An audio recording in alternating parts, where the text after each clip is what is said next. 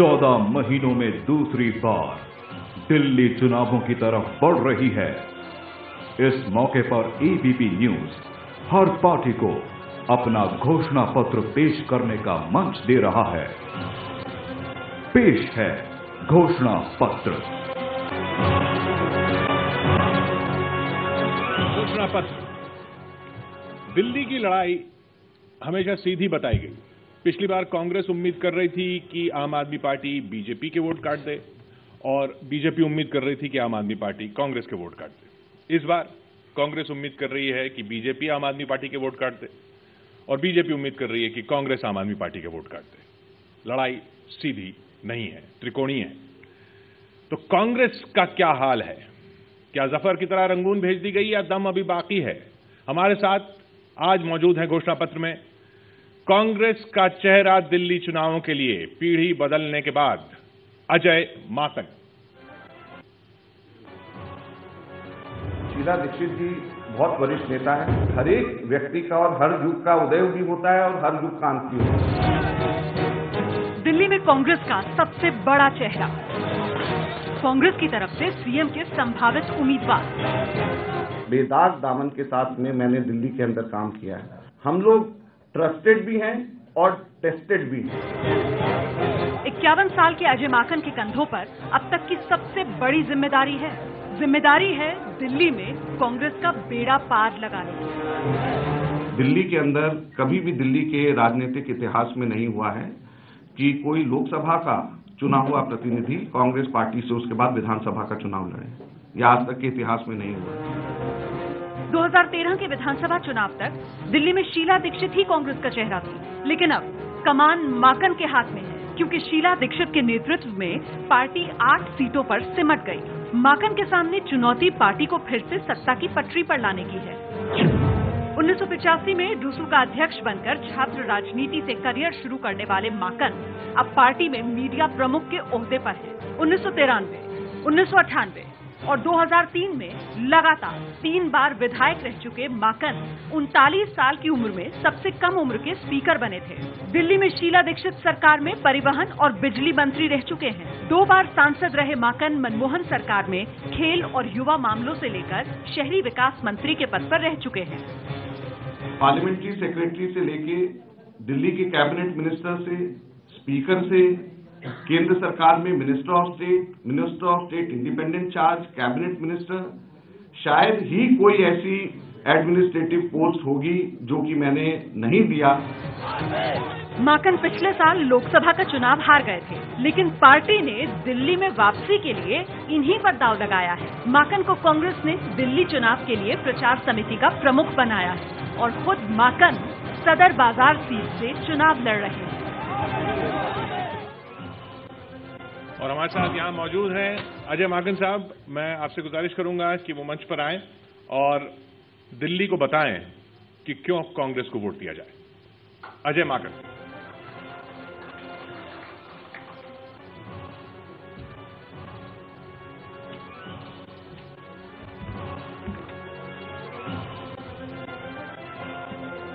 नमस्कार। साथियों, सबसे पहले तो मैं एबीपी न्यूज़ को धन्यवाद देना चाहूँगा कि उन्होंने एक प्लेटफॉर्म हम लोगों को यह दिया है जिसमें हम लोग अपने बारे में, अपनी पार्टी के बारे में आप सब लोगों को और आप सब लोगों के माध्यम से दिल्ली की जनता को कुछ बता सकें। जैसे अभी यहाँ पर शुरू में मेरे बारे में थोड़ा सा बताया गया, मैंने अपना राजनीतिक जीवन 1985 में दिल्ली विश्वविद्यालय छात्र संघ के अध्यक्ष पद से शुरू किया। लेकिन यही नहीं, उससे पहले, दो साल पहले उससे मैं सबसे पहला चुनाव क्लास रिप्रेजेंटेटिव का अपने कॉलेज के अंदर लड़ा और वो जीतने से मैंने अपने राजनीतिक जीवन की शुरुआत करी। उसके बाद कॉलेज का सेंट्रल काउंसलर और वहाँ से दिल्ली विश्वविद्यालय छात्र संघ का एग्जीक्यूटिव काउंसलर और उससे भी पहले स्कूल के अंदर, जब मैं ग्यारहवीं कक्षा में था तो हमारे स्कूल के अंदर इलेक्शन की एक पद्धति सेंट जेवियर स्कूल जहाँ से था, वहाँ पर भी मैं चुनाव लड़ा। मैं ये सारी बातें इसलिए कह रहा हूँ कि आजकल और कुछ समय से एक फ़ैशन है कि जिसमें लोग राजनीतिक एम्बिशन सीने में दबा करके लोगों को ये कहते हैं, मैं तो राजनीतिक नहीं हूँ। सीने के अंदर दबा हुआ राजनीतिक मंशा होती है, लेकिन लोगों के सामने एक ऐसा चेहरा अपना और दूसरी तरफ़ राजनेताओं का और राजनीति का दलदल से भरा पेश किया जाता है कि मैं तो इससे दूर हूँ। और फिर राजनीतिक मंशा को पूरा करने के लिए वो लोग आगे आते हैं। मुझे इस चीज़ का की खुशी है और गर्व है कि राजनीति में आने की सोच जब मैं छठी कक्षा में था और क्लास के अंदर, डिबेट्स में, कॉलेज के अंदर अलग अलग जगहों के ऊपर, स्कूल के अंदर, इस प्रकार के सोशल प्लेटफॉर्म में आने का मकसद मैं ये सोचता था कि मैं अपने आप को तैयार कर रहा हूँ।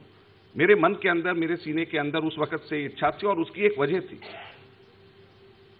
मेरे दादाजी, मेरे परदादा, मेरी दादी सबके सब फ्रीडम फाइटर थे और फ्रीडम फाइटर मूवमेंट से जुड़े हुए थे। मैं अपने घर के अंदर उन लोगों को जब मैं देखता था और काम करते हुए देखता था, मुझे लगता था कि राजनीति एक ऐसा माध्यम है जिससे कि देश को और समाज को अच्छे बदलाव की ओर लिया जा सकता है, ले जाया जा सकता है। और आज भी मेरी यही सोच है और जब से लेकर के आज आज तक के बगैर किसी बाधा के, बगैर किसी सोच में इधर उधर करे, जब से मैं लगातार अब तक इस पे चलता आ रहा हूँ। इसलिए जब मैं ट्रांसपोर्ट मिनिस्टर था, मुझे मौका मिला, उससे पहले हमारी सरकार की पॉलिसी सीएनजी का विरोध करने की थी। सीएससी और सुप्रीम कोर्ट के साथ मिलकर के दिल्ली के अंदर हम सीएनजी दिल्ली के अंदर उस वक्त पूरे के पूरे पब्लिक ट्रांसपोर्ट सिस्टम के अंदर हम ले आए।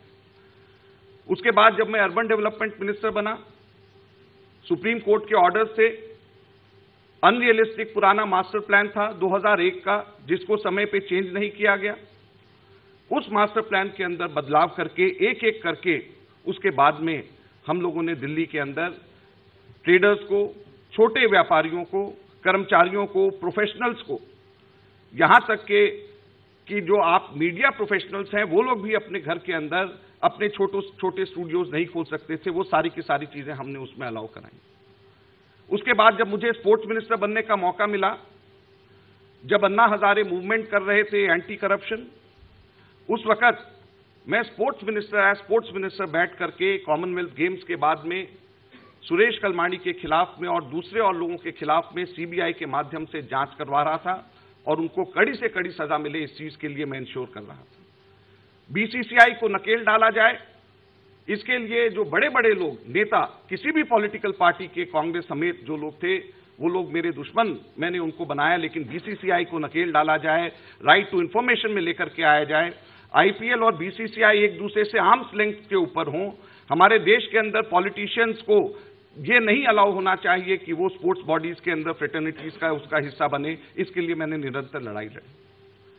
जब मैं हाउसिंग मिनिस्टर बना तो रियल एस्टेट डेवलपर्स को, जो लोग आज ठगते हैं रियल एस्टेट डेवलपर्स लोगों को सुपर एरिया और कारपेट एरिया के बीच में डिफरेंस करके डॉटेड लाइंस के ऊपर साइन करवा करके, उन लोगों के लिए और बहुत सारे लोगों से कैबिनेट के अंदर और बाहर लड़ाई लड़ करके रियल एस्टेट डेवलपर्स बिल हम लोगों ने पार्लियामेंट के अंदर मैंने अपने टाइम के ऊपर उसको पास कैबिनेट से करा करके इंट्रोड्यूस कराया, जिससे कि आज अगर वो जब भी वो एक्ट बन जाता है, राज्यसभा में इंट्रोड्यूस कराया ताकि वो लैप्स ना हो, हमारे करप्ट बिल्डर्स के हाथों लोगों को शोषित ना किया जा सके, इस चीज़ को इंश्योर किया जाए।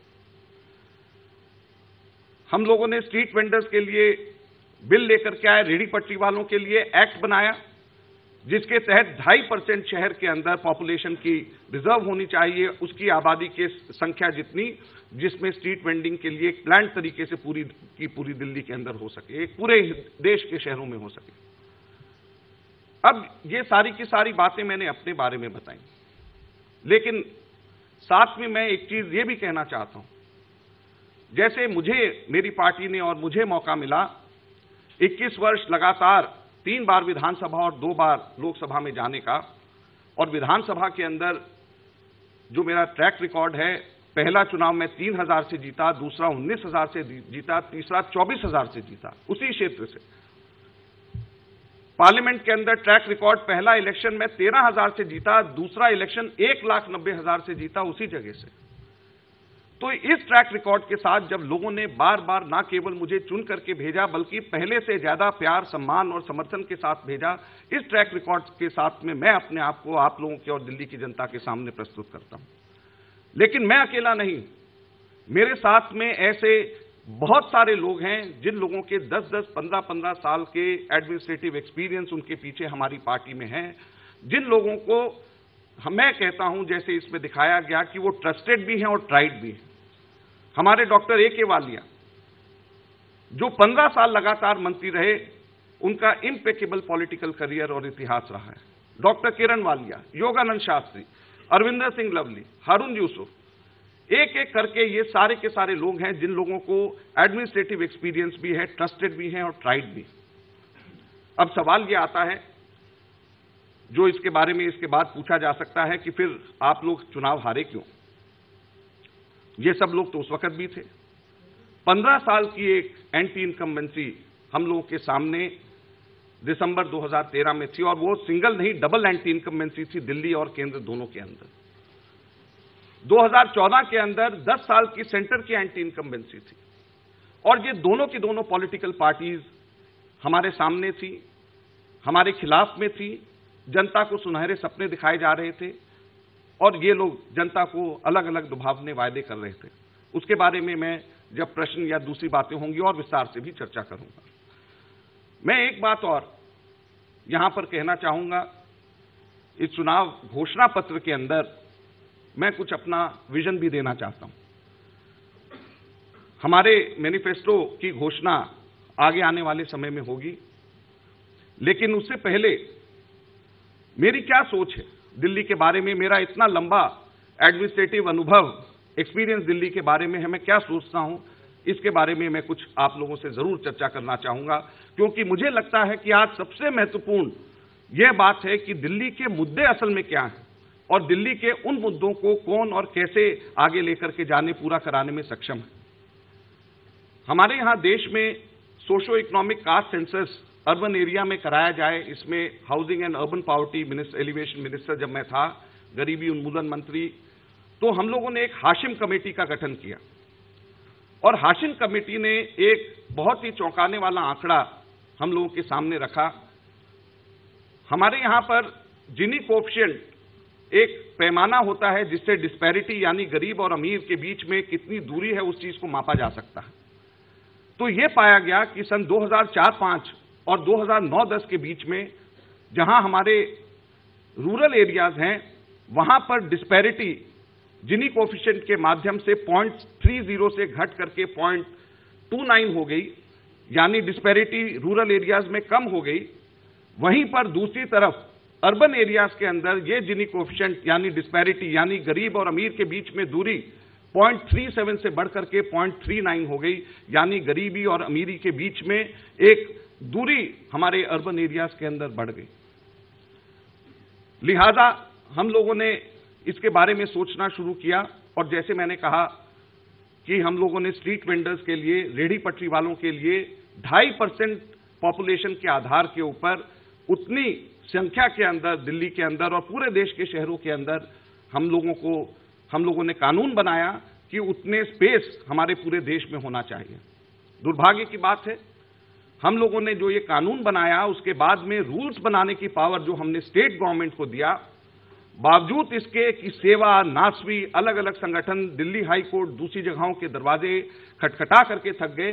दिल्ली के अंदर म्यूनिसिपल कॉरपोरेशन और दिल्ली सरकार ने अभी तक के उसके लिए कानून, उसके लिए रूल्स की अभी तक के घोषणा नहीं करी। जो इस चीज़ को सुनिश्चित करे कि यहाँ पर दिल्ली के अंदर गरीब रेहड़ी पटरी लगाने वाले लोगों को इकोनॉमिक इंक्लूसिवनेस किस तरीके से फाइनेंशियल इंक्लूजन किस तरीके से उनका दिल्ली के अंदर किया जा सके। पर सरकार तो आप ही की थी? अभी की बात कर रहा हूँ। ये बिल हम लोगों ने जो पास किया था ये ये बिल हम लोगों ने फरवरी 2014 के अंदर लास्ट सेशन के अंदर हमने अनेक्ट किया और उसके बाद में यह नोटिफाई हुआ और अब नोटिफाई हुए हुए इसको लगभग एक वर्ष हो गया। कई स्टेट्स ने इसको किया है, लेकिन दिल्ली ने अभी तक नहीं किया। हाई कोर्ट में बार बार गुहार लगा जाने के बाद में। इस एक्ट के अंदर एक प्रोविज़न है कि जब तक कि आप उतनी संख्या के अंदर आइडेंटिफाई चिन्हित ना कर पाए, प्लान तरीके से, जब तक आप दिल्ली में किसी को भी आप हटा नहीं सकते। और अभी भी रोज़ाना पुलिस के माध्यम से प्रताड़ित किया जाता है हज़ारों लाखों इन रेडी पटरी वालों को, जिनके लिए हम लोग चाहते हैं कि जो कानून हमने बनाया, उसका, उसके रूल्स भी बनाए जाएँ। इसी प्रकार से बिजली को अगर हम ले लें तो बिजली के अंदर जब हम लोगों ने प्राइवेटाइजेशन किया था रिफॉर्म्स हम लोगों ने किए थे, उस वक्त दिल्ली में चौवन परसेंट बिजली की चोरी होती थी। आज वो चौवन परसेंट से बिजली की चोरी घट करके तेरह प्रतिशत हो गई इकतालीस परसेंट बिजली की चोरी कम हो गई पर परसेंट पैसा पचहत्तर करोड़ रुपए के करीब उस उस जमाने में 2002 तीन के अंदर पर परसेंटाइल को लगता था, जो कि लगभग अब कम से कम सवा करोड़, डेढ़ सौ डेढ़ सौ करोड़ रुपए सवा सौ करोड़ रुपए पर परसेंटेज के हिसाब से लगाया जाए तो ये बनता है। यानी हर साल इन प्राइवेट कंपनीज़ को लगभग छह हज़ार, सात हज़ार करोड़ रुपया एक्स्ट्रा मिलते हैं केवल बिजली की चोरी रोकने से। तो अगर ये रेगुलेटरी कमीशन के माध्यम से और दिल्ली सरकार अगर चाहे तो बगैर सब्सिडी दिए दिल्ली के अंदर हम लोग बिजली की जो है कीमतें टैरिफ हम लोग इसको कम कर सकते हैं। आम आदमी पार्टी ने सब्सिडी दे करके, थोड़ी सी सब्सिडी दे करके कुछ समय के लिए कम किया। मैं इस तरीके को सही नहीं मानता हूँ। सरकारी सब्सिडी दे करके, अगर आप कुछ समय के लिए केवल अपना पीठ थपथपाने के लिए वो पैसा जिसका आप इस्तेमाल दिल्ली के अंदर पीने के पानी की लाइंस की दिक्कत है, उसको अगर आप रेक्टिफाई करने की जगह, अगर दिल्ली के अंदर उन झुग्गी वालों के लिए मकान बनाने के पैसा खर्च करने की जगह वो टैक्स पेयर्स का पैसा अगर आप बिजली की कंपनीज़ को आप गिफ्ट के तौर पे दे रहे हैं तो एक तरीके से बिजली की कंपनीज़ को आप एक तरीके से सरकारी ऑफिशियल रिश्वत दे रहे हैं, ताकि वो कुछ समय के लिए उसको सब्सिडी दे करके आप अपना पीठ थपथपा सके। यह परमानेंट सोल्यूशन नहीं होता है। पानी की लाइन की जैसे मैं बात करता हूँ, दिल्ली में 242 litres per capita per day का पानी उपलब्ध है। सिंगापुर में एक सौ बासठ litre per capita per day और हांगकांग में एक सौ बहत्तर litre per capita per day के हिसाब से पानी पानी उपलब्ध होने पे वो 24 घंटे पानी देते हैं। दुर्भाग्य से दिल्ली के अंदर 55 परसेंट पानी हमारा अनअकाउंट फॉर वाटर यूएफडब्ल्यू है, जो कि एकदम नीचे ज़मीन के ज़मीन के अंदर चला जाता है, उसको पानी की लाइन खराब होने की वजह से उसको ठीक नहीं कर सकते। तो जो पैसा हम बिजली की कंपनीज़ को दे रहे हैं, उस पैसे को अगर हम इन सब चीज़ों में अगर हम इस्तेमाल करें और बिजली की कंपनीज़ के ऊपर नकेल कस के अगर हम लोग, उन लोगों के से अगर जो है हम लोग बिजली की टैरिफ कम कराएँ और पानी की सप्लाई ठीक करें तो दिल्ली का सुधार हो सकता है। दिल्ली के अंदर कोई बहुत बड़ी इंडस्ट्रीज़ नहीं है, जैसे और दूसरे शहर में, लेकिन जमुना अभी भी प्रदूषित है, क्योंकि दिल्ली के अंदर सीवर का पानी नालों के माध्यम से जमुना के अंदर जाता है। सीएससी ने यह कहा, सुनीता नारायण का यह कहना है कि आप इसको छोटे छोटे आप बीच में रोक करके, आप लगा करके, आप सीवर को अगर आप ठीक करें, आप इसको, आपको बड़े बड़े सीवर प्लांट लगाने की ज़रूरत नहीं है। आप छोटे छोटे अनऑथराइज कॉलोनीज के बाहर सीवर सीवर को वहीं पे ट्रीट करके नाली से एफ्लुएंस उसको, जो बाकी बचा हुआ है उसको भेजें। आप दिल्ली के अंदर यमुना को साफ़ कर सकते हैं। जिस तरीके से हम लोगों ने सीएससी और सुप्रीम कोर्ट के साथ मिलकर के सीएनजी को, हम लोगों ने लागू दिल्ली में कराया उसी प्रकार से दिल्ली के अंदर सीवेज ट्रीटमेंट और यमुना पोल्यूशन हम लोग मिल करके एनजीओ के साथ में मिल करके और एक्सपर्ट्स के साथ में मिल करके कर सकते हैं। राजनीतिक इच्छा शक्ति अगर है तो हम लोग ज़रूर कर सकते हैं। ऐसे बहुत सारी चीज़ें हैं।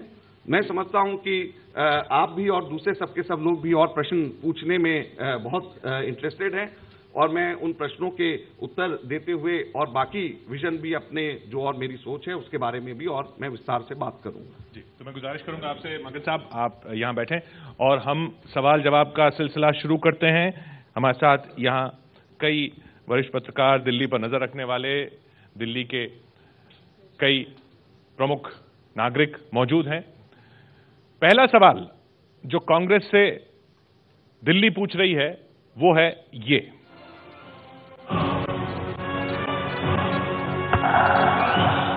कांग्रेस ने पहले ही हार मान ली। कांग्रेस भी ये जानती है कि कांग्रेस में चेहरा बनाने की आवश्यकता है ही नहीं। उन्हें तो जीत हासिल होने वाली नहीं है, जैसा शीला दीक्षित जी ने कहा है। वो तो अब सपोर्टिंग रोल में आ गए हैं। वो अब लीड प्लेयर नहीं है दिल्ली की राजनीति में। ऐसे में वो किसको उतारे, वो उनका विषय है। अजय माकन जी को उतारे और अजय माकन जी तो एक लॉस्ट लेफ्टिनेंट है। वो ऑलरेडी दिल्ली में हार चुके हैं। इसलिए क्या हार से जीत की शुरुआत हो सकती है या नहीं, ये कांग्रेस विवेचना करे आपने दो अपने लोकसभा इलेक्शंस का रिकॉर्ड बताया, तीसरे हार का नहीं बताया, यही बीजेपी कह रही है। तीसरे जो जिस टाइम पे मैं हारा था 2014 में, और 2013 में जब हमारी आठ सीट्स रह गई थी, उसमें और आज में एक बहुत बड़ा बुनियादी फ़र्क है। और वो बुनियादी फ़र्क यह है कि उस टाइम पे हम रूलिंग पार्टी थे, दोनों के दोनों समय में एंटी इनकम्बेंसी थी, और लोगों ने उस समय तक दोनों की दोनों पार्टियों को अजमाया नहीं था। आज जब हम लोगों के बीच में वापस जा रहे हैं तो हम लोगों से ये पूछ रहे हैं कि ये सात महीने के अंदर जो भारतीय जनता पार्टी के एक तरीके से मोदी जी का डायरेक्ट शासन था, राष्ट्रपति शासन के माध्यम से तो क्या आपके अकाउंट में पंद्रह पंद्रह लाख रुपए हरेक के आगे? छोड़िए पंद्रह लाख पंद्रह पंद्रह पैसे आगे। हम लोगों से पूछ रहे हैं कि जिस जिस जगह को, जिस शहर को बीजेपी रेप फ्री कैपिटल कहना, कहती थी कि हम बनाएँगे क्राइम फ्री कैपिटल बनाएँगे। ऐसा क्यों हो गया कि 2014 के अंदर क्राइम के रेट्स और रेप के रेट्स अप्रत्याशित रूप से आगे बढ़ गए 2013 के मुकाबले? हम उनसे यह जानना चाहेंगे कि ऐसी बड़ी क्या चीज़ें मोदी जी ने डायरेक्ट अपने शासनकाल के दौरान करी जिससे कि लोग उनको वोट दें? वैसे ही आम आदमी पार्टी से उनकी उनचास दिन की सरकार रही। हम उनसे ये पूछते हैं कि वो तो जिन वायदों को लेकर के आए, आज दो बजे मेरी प्रेस कॉन्फ्रेंस है जिसमें कुछ मैं बहुत महत्वपूर्ण दस्तावेज़ पेश करने वाला हूँ। मैं, हम आज उनसे ये पूछना चाहते हैं कि वो हम लोगों को बताएँ कि वो तो कहते थे कि रोज जनसभा करेंगे, जन, जनता दरबार लगाएँगे, एक दिन जनता दरबार लगाकर उसके बाद में कहाँ चले गए? वो तो कहते थे कॉन्ट्रैक्चुअल लेबर को हम परमानेंट करेंगे, वो कॉन्ट्रैक्चुअल लेबर कितनी है जो परमानेंट होगी? वो लोग कहते थे कि, हम लोग बिजली के रेट्स कम करेंगे तो क्या सब्सिडी दे करके बिजली के रेट्स कम हुए? आज केजरीवाल जी, सतीश उपाध्याय की कंपनी और आशीष सूद का नाम कहते हैं कि इनकी कंपनीज़ हैं तो इसका मतलब वो ये मान रहे हैं कि उनचास दिन की जो उनकी सरकार है, में उसके अंदर वो इस प्रकार की कंपनीज़ को डिटेक्ट करना, करने में उनकी कमी रह गई, वो फेल हो गए। तो जब वो खुद मुख्यमंत्री रहते हैं, जब उनको ये सारे दस्तावेज़ नहीं मिलते हैं। जब वो मुख्यमंत्री से हट जाते हैं जब ऑपोजिशन और धरना पार्टी बन जाते हैं तब उनको वो सारे के सारे दस्तावेज़ मिल जाते हैं। तो दिल्ली के इंटरेस्ट में और राष्ट्र के इंटरेस्ट में पब्लिक के इंटरेस्ट में उनको ऑपोजिशन में ही रहना चाहिए क्योंकि दस्तावेज़ और सारी चीज़ें तो उनको ऑपोजिशन में मिलती है रूलिंग पार्टी में तो उनको कुछ नहीं हासिल साहब मेरा नाम संगीता तिवारी है। मेरा आपसे ये सवाल है चुनाव में महज तीन हफ़्ते रह जाते हैं तब चेहरे का ऐलान होता है। अभी तक दिल्ली में कांग्रेस की एक भी बड़ी रैली नहीं। और उस पर से शीला दीक्षित का ये बयान कि हम आम आदमी पार्टी को समर्थन करने के लिए तैयार हैं तो इसे हारी हुई लड़ाई क्यों नहीं माना जाए? देखिए जहाँ तक के लेट ऐलान की बात है मेरे को विधानसभा का चुनाव लड़ना है कैंपेन कमेटी का चेयरमैन का मुझे ऐलान करना है इस चीज़ की घोषणा 12 जनवरी को हमारी सर, हमारी पार्टी ने करी। हम लोगों का यह मानना है कि आप लोगों के माध्यम से दिल्ली एक कॉम्पैक्ट जगह है। और आप लोगों के माध्यम से सोशल मीडिया के माध्यम से हम लोग अपनी बात लोगों तक के पहुँचा पाएँगे। दूसरा, हम लोगों की स्ट्रैटेजी और बीजेपी और आम आदमी की स्ट्रैटेजी में फ़र्क है। हमारी स्ट्रैटेजी लोकलाइज हमारे विधायकों को चुनाव जिताना है। हमारी स्ट्रैटेजी यह है कि जो हमारे लगातार तीन तीन, चार चार, पाँच पाँच बार चुने हुए विधायक हैं, वो विधायक लोगों के बीच में जा रहे हैं और डोर टू डोर जा रहे हैं। हमारी स्ट्रैटेजी यह है कि वो कहें और जो कि होगा, इस चुनाव के अंदर आप देखिएगा, आपके सर्वेक्षणों में भी परिवर्तन आएगा। क्योंकि पहले अब आप पूछते थे, कांग्रेस, बीजेपी, आप तो आपको दूसरे नतीजे मिलते थे। अब आप पूछेंगे, डॉक्टर ए के वालिया को वोट देंगे, इसको वोट देंगे, उसको वोट देंगे, आपको दूसरे नतीजे निकलेंगे। हमारे जितने भी इंडिविजुअल कैंडिडेट्स हैं, वो सबके सब डोर टू डोर जाकर के कर रहे हैं, जो तीन तीन बार चार चार बार लगातार जीते हैं। एक साल से जब वो वहाँ पे विधायक नहीं थे, अब जब वो जाकर के वहाँ पे लोगों के बीच में जा रहे हैं, लोग कहते हैं, यार, आपका समय तो इससे ज़्यादा अच्छा था, कम से कम आप मिल जाते थे कम से कम आप काम कर देते थे, कम से कम इतनी डेवलपमेंट हो गई हमारी स्ट्रैटेजी ये है। हर पार्टी अपनी स्ट्रेंथ के ऊपर चुनाव लड़ती है, हर पार्टी की अपनी स्ट्रैटेजी होती है। ज़रूरी थोड़े है कि अगर मोदी की एक स्ट्रैटेजी है तो हमारी भी वही स्ट्रैटेजी हो, हम भी उसको फॉलो करें। हमारी स्ट्रैटेजी लोकलाइज हमारे विधायक जो स्ट्रेंथ है हमारी हमारी वो स्ट्रैटेजी है। बाकम साहब, मेरा नाम एन के सिंह है। अभी आपने कहा कि 55 परसेंट सीपेज की वजह से वाटर नीचे चला जाता है। अब जरा सोचिए आप पंद्रह साल आप रहे। पंद्रह साल में कोरोजन अगर हुआ होगा पाइपलाइन का, सबटेरेनियन पाइपलाइन का तो वो आपके दौरान हुआ है। जब आप इसका एक श्रेय क्लेम करते तो लगता नहीं लॉजिकली आप गलत है और जनता देख के हंसेगी।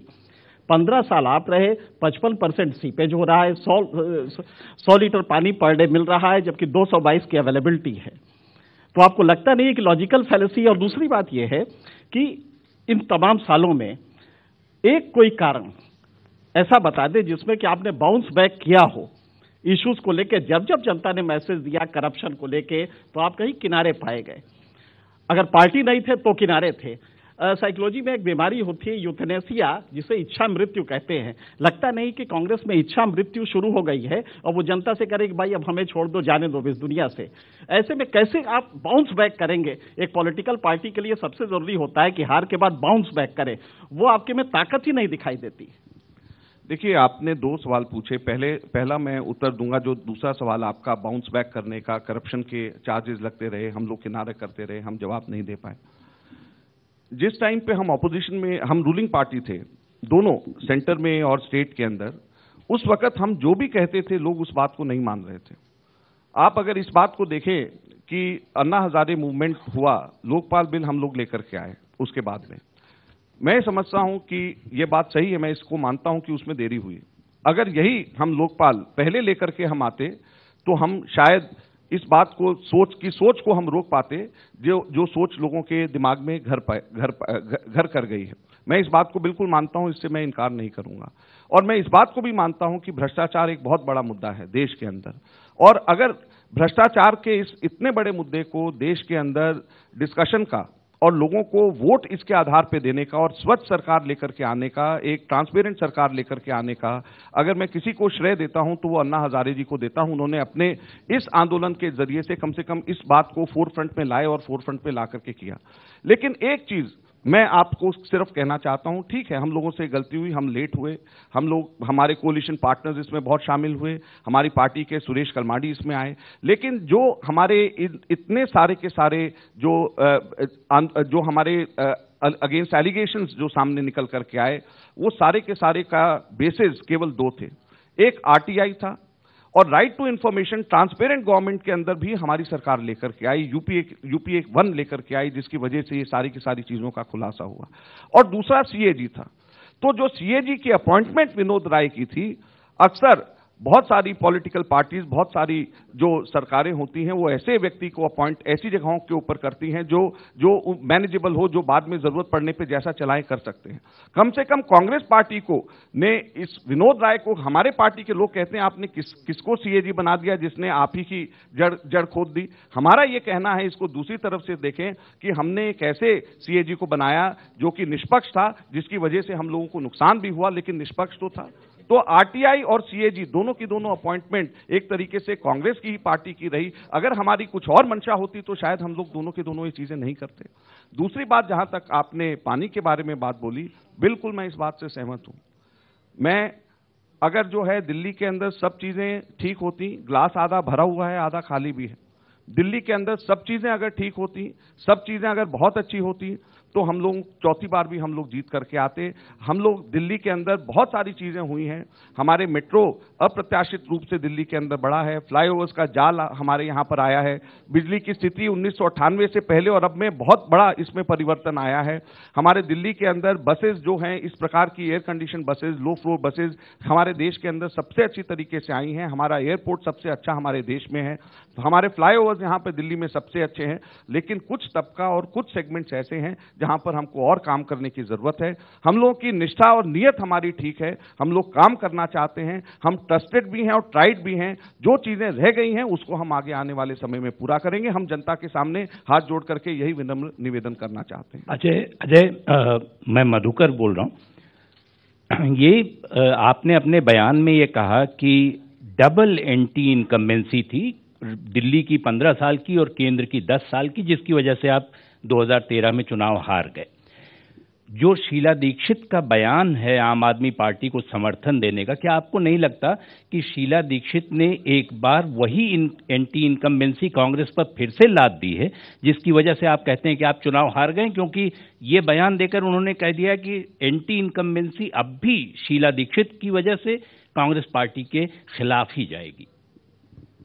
मधुकर जी ये शीला जी का जो बयान है इसके बारे में मैंने भी स्पष्ट किया उन्होंने भी कोशिश करी है इस पर और स्पष्टता से अपनी बात कहने की क्लैरिफाई करने की।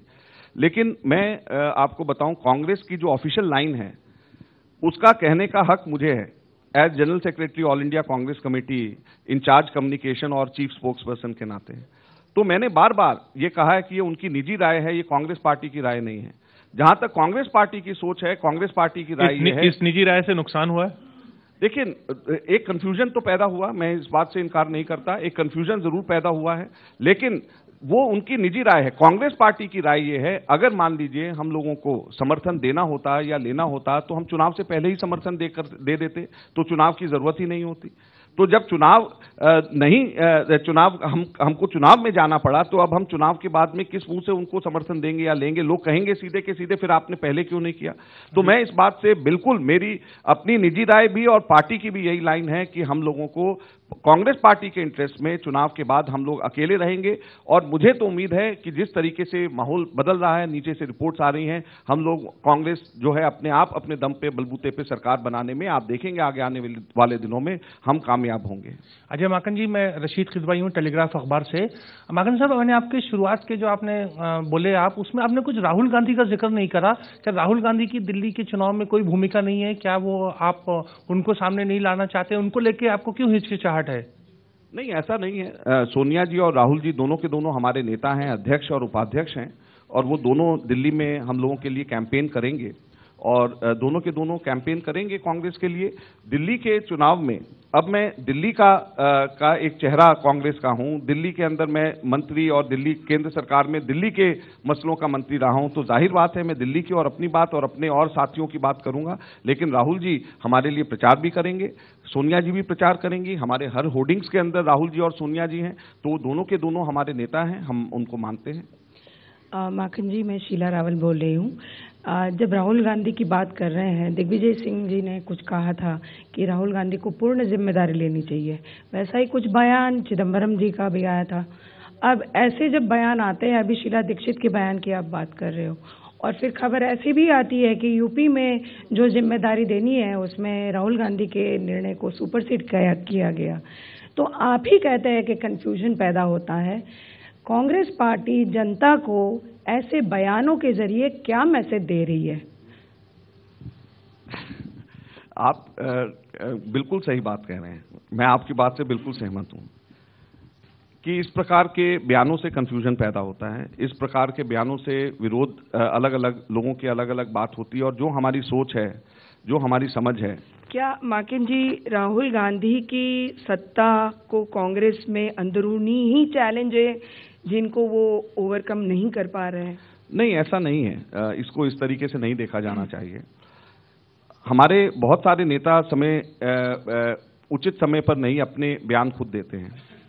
तो जो हमारा कम्युनिकेशन डिपार्टमेंट है, हमारा कम्युनिकेशन डिपार्टमेंट का असल में काम कम्युनिकेट करना है पार्टी की आइडियोलॉजी पार्टी की सोच, पार्टी की लाइन को।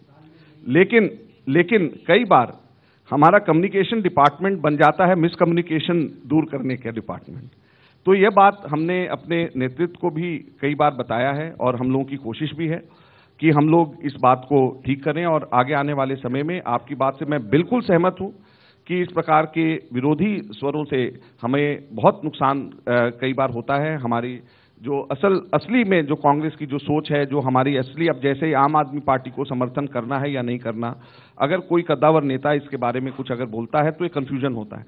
लेकिन कांग्रेस पार्टी की असल में क्या लाइन है, वो हम लोग उसको तय करते हैं और जो कांग्रेस पार्टी की लाइन होती है, बाद में वही फॉलो होती है। तो मेरा आपके माध्यम से फिर जनता से, और लोगों से ये कहना है कि कांग्रेस पार्टी की जो लाइन है, उस चीज़ को, वो लाइन ये है कि हम लोग किसी भी कीमत के ऊपर आम आदमी पार्टी को ना तो सपोर्ट करेंगे, ना उनका सपोर्ट लेंगे। ये सपोर्ट की आप बार बार बात कर रहे हैं तो ये सपोर्ट जब किया गया था तो उसका मकसद ये दिखा था कि आने दीजिए इनको इन्होंने वादे किए हैं, जनता जान जाएगी, ये कुछ नहीं है। वो आए, उन्होंने कुछ ऐसा कर दिया है कि जनता आप मान रही है कि आप कुछ नहीं है। नहीं, ऐसा नहीं है। अभी जो है दिल्ली कंटोनमेंट बोर्ड के इलेक्शन हुए थे, जहाँ साठ हज़ार के करीब हमारे वोटर्स हैं। उसके अंदर आम आदमी पार्टी का वहाँ पे सिटिंग एमएलए है। वहीं पर, उसी जगह के ऊपर आम आदमी पार्टी का जहाँ सिटिंग एमएलए है पहले हम कांग्रेस के मुकाबले आधी सीटें आम आदमी पार्टी को मिली। उन्हीं पोलिंग बूथ के अंदर 15 परसेंट वोट आम आदमी पार्टी को कम मिला कांग्रेस को 11 परसेंट वोट फालतू मिला बीजेपी के 3 परसेंट वोट का वोट जो है दिल्ली के बीजेपी के कम हुए। और कांग्रेस और बीजेपी का नेक टू नेक वहाँ पे फाइट था। तो ऐसा नहीं है कि आप जैसा कह रहे हैं लोग वो सोचते हैं लोग गल, वो गलती हुई जो उनको सपोर्ट किया पिछली बार? नहीं, गलती नहीं, हम लोगों ने तो उस वक्त उनको सपोर्ट किया, जैसे आप खुद कह रहे हैं, आपने बात सही बोली कि हम कहते, हम कह रहे थे कि आपने तो ये कहा था कि हम बिजली की कीमतें ऐसे कर देंगे, जन, रोज जन दरबार लगाएँगे, सबको हम परमानेंट कर देंगे, हम दिल्ली के अंदर पता नहीं चाँद सितारे क्या क्या तोड़ के ला देंगे। तो उनचास दिन के अंदर वो केवल धरना करते हुए नज़र आए। अभी भी जो है, जो बाकी सारी की सारी चीज़ें, जो उनको डॉक्यूमेंट्स और जो आरोप प्रत्यारोप अभी भी वो लगा रहे हैं, वो उस वक्त उनके हाथ में नहीं आई। तो इसका मतलब उनको एडमिनिस्ट्रेशन करना नहीं आता उनको उनको मालूम नहीं है कि किस तरीके से अगर उनकी निष्ठा भी ठीक है तो उस निष्ठा को किस तरीके से पूरा करके जनता के लिए डिलीवर कर सके वो लोग नहीं कर सकते हैं। इसका इससे यही साबित होता है। अजय जी मेरा नाम संतोष भारतीय है। ईश्वर आपकी उन इच्छाओं को पूरा करे जो हम लोगों को पूरी होती नज़र नहीं आ रही है। पिछले चुनाव में जो जो, जो इसके पहले का चुनाव था पंद्रह साल राज करने के बाद आपकी नाक के नीचे से मुसलमान सर करके आम आदमी पार्टी के पास चला गया, मध्यम वर्ग बीजेपी के पास चला गया। कल एबीपी का सर्वे आया है, जिसमें उसने कहा है, कमो बेश, जिस चैनल पे आप बात कर रहे हैं, कि कमो बेश यही स्थिति इस चुनाव में रहने वाली और कांग्रेस को कांग्रेस तो लगभग लड़ाई से बाहर चली गई है। मेरा सवाल ये है कि पिछले आठ महीने में या छह महीने में या चार महीने में इन वर्गों को वापस लाने की कोई कोशिश हमें कांग्रेस की तरफ़ से दिखाई नहीं दी पहला सवाल। तो आप कैसे जीतेंगे? दूसरा सवाल दूसरा पहले सवाल का जवाब नहीं तो फिर मैं हाँ। दूसरे पे आते आते पहला का आंसर भूल जाऊँगा। आपने बोला मैं साधारण थे हम लोग हम लोगों की ये पॉलिसी रहती है कि हम सर्वेक्षणों पे हम नहीं बोलते। लेकिन आपने सवाल पूछा है बहुत अच्छा। एक तो यह सर्वे एक जनवरी से बारह जनवरी तक के बीच का था। तो मेरी घोषणा 12 जनवरी को हुई तो मेरी घोषणा से पहले का था, एक। दूसरा, इसमें एक सर्वे, इस वाले में और पिछले वाले में जो फ़र्क था, पिछले वाले में आप कांग्रेस को तीन से पाँच सीटें दे रहे थे, इसमें आपने बढ़ा करके आठ सीटें कांग्रेस की दी हैं। क्यों आठ सीटें कांग्रेस की? इसमें मुझे पहले के मुकाबले बेहतर स्थिति होते हुए क्यों मैं इस बात से सहमत हूँ? क्योंकि हम लोगों ने 24 कैंडिडेट्स अपने 12 तारीख से पहले अनाउंस कर दिए थे 70 में से। तो जो सर्वे हुआ, जो मैं पहले कहता था, आप कांग्रेस, बीजेपी, आम आदमी पार्टी पूछोगे, एक एक आपको जवाब मिलेगा। आप डॉक्टर वालिया या दूसरे कैंडिडेट पूछोगे, आपको दूसरा जवाब मिलेगा। तो जब हमारे कैंडिडेट्स डिक्लेयर हुए तो वो संख्या पाँच से बढ़कर के आठ हो गई। अब बारह तारीख के बाद दो चीज़ें, दो डेवलपमेंट तीन डेवलपमेंट्स और हुई हैं। और उन तीन डेवलपमेंट्स की वजह से मुझे लगता है कि अब स्थिति बहुत तेज़ी से पलटेगी। एक डेवलपमेंट सबसे बड़ा यह हुआ कि दिल्ली कैंटोनमेंट बोर्ड का रिज़ल्ट 12 तारीख को आया और उससे कांग्रेस के जनों में उत्साह बढ़ा और कांग्रेस ने उससे उत्साहित हुआ। दूसरा 12 जनवरी को मेरी भी अनाउंसमेंट हुई और मैं प्रचार के अंदर आगे आया। तो मुझे लगता है कि कुछ हम लोग इसमें लड़ाई के अंदर और तेज़ी से हम आगे बढ़ेंगे। तीसरा डेवलपमेंट यह है कि हम लोगों के बाकी कैंडिडेट्स की लिस्ट भी अब अनाउंस हो गई है और हमारे मुकाबले बीजेपी और आम आदमी पार्टी की भी जब लिस्ट आएगी, आप तीनों कैंडिडेट्स को जब आप सामने रख करके लोगों के बीच में जाएँगे तो ये आंकड़े आठ से कहीं ज़्यादा आगे निकल जाएँगे। आप आगे आने वाले समय में ये भी बात को देखें। तो इसलिए जो सर्वेक्षण आपके पहले सर्वेक्षण थे, उसमें सबसे कम सीट थी, हमारे कोई कैंडिडेट डिक्लेयर नहीं थे। हमारे चौबीस डिक्लेयर हुए, आपके आपके जो है तीन से पाँच से आठ आपका बढ़ गया। हमारे सत्तर कैंडिडेट डिक्लेयर हुए, प्रचार समिति का अध्यक्ष में आया, मैं खुद चुनाव लड़ रहा हूँ, आपको यह संख्या लगातार बढ़ती हुई नज़र आएगी। आप देखिएगा, आप भी यहाँ हैं, मैं भी यहाँ हूँ, मुझे बुलाएँगे, मैं फिर आऊँगा और 10 तारीख को इंशाला फिर दोबारा मिलेंगे। अजय माकर साहब, मैं डॉक्टर माजिद देवबंदी हूँ, जामिया में रहता हूँ। अपना उर्दू का एक अखबार निकालता हूँ, All India minority education trust के लिए कुछ काम करता हूँ। आप ये बताइए कि अब मुसलमानों को अपने साथ लाने के लिए बीजेपी से डराएँगे कि मौलानाओं को साथ लेंगे या काम करेंगे? मैं ओखला में रहता हूँ, आपने पानी की बात की, हमें पानी पीने को मैसर नहीं है, हम लोग खरीद के पानी पीते हैं। उसके बाद आप पंद्रह साल में हमें पानी नहीं दे सके। मुसलमानों का एक्सप्लाइटेशन आप किस तरह करेंगे? अगर नहीं करेंगे तो आपके लिए, उनके लिए क्या नियत है?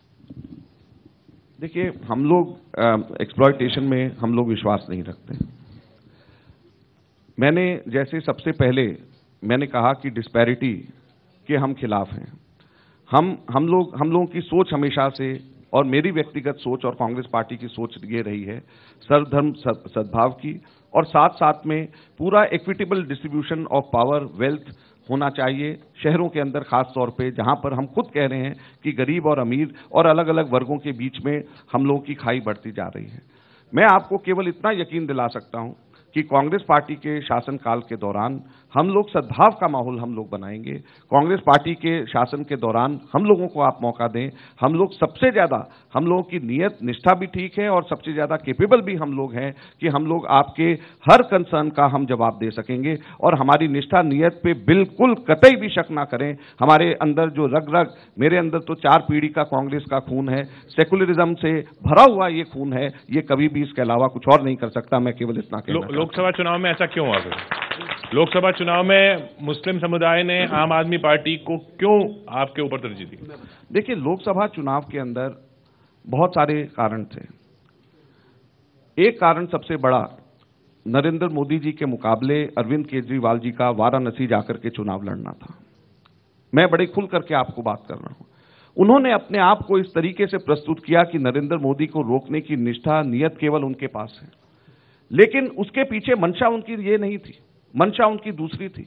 उन्होंने कभी भी यह अभी तक अगर आप समझ रहे थे तो आपने काउंटर क्यों नहीं किया? नहीं मैं अगर आप तो समझ रहे थे नहीं मैं आपने पूछा सवाल मैंने मैं जवाब दे रहा हूँ मेरी बात आप समझ रहे उन्होंने खुल करके कभी भी ये नहीं कहा कुमार विश्वास के जो लगातार मोदी के समर्थन में जो उनके बात रही है उसके बारे में उनका क्या विचार है?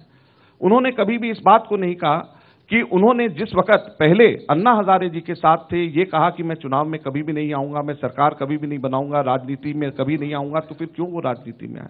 बच्चों की कसम खा करके कहा कि ना मैं कांग्रेस, ना बीजेपी की सपोर्ट लूँगा, फिर उसके बाद में कांग्रेस की सपोर्ट से क्यों सरकार उन्होंने बनाया?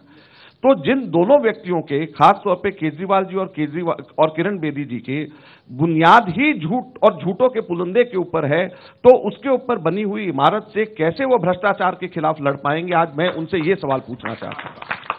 मगन साहब, मैं मौलाना अंसार रजा गरीब नवाज़ फाउंडेशन से हूँ। पैंसठ साल से हिंदुस्तान के मुसलमानों को आप लोगों ने बीजेपी से डरा के रखा। हिंदुस्तान के वज़ीर आज़म का एक बयान आया है अमेरिका जाने से पहले। कि हिंदुस्तान का मुसलमान अपने मुल्क का वफादार है। ये अलग बात है कि हम उनसे सर्टिफिकेट की ज़रूरत नहीं है वफादार हैं। मुजफ्फरनगर दंगे के बाद राहुल गांधी का बयान आता है कि मुजफ्फरनगर के कुछ मुसलमान बच्चे आईएसआईएस के संपर्क में हैं। हम किसको अच्छा समझे, राहुल गांधी के बयान को या मोदी के बयान?